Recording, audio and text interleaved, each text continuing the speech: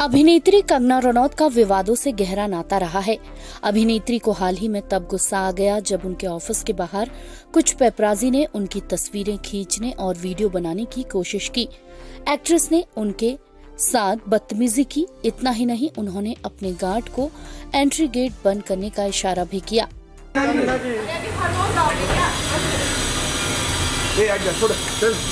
यह पहली बार नहीं है जब कंगना के व्यवहार ने सुर्खियाँ बटोरी हैं। वह अक्सर मीडिया पर अपने बोल्ड और विवादित बयानों को लेकर चर्चा में रहती हैं।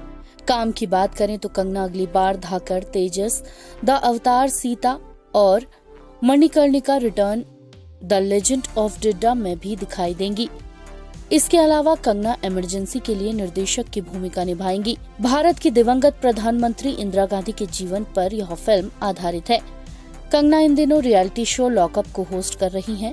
शो को दर्शकों का शानदार रिस्पांस मिल रहा है और कंगना की होस्टिंग की तारीफ़ हो रही है। लॉकअप ऑल्ड बालाजी और एमएक्स प्लेयर पर स्ट्रीम होता है। IANS report.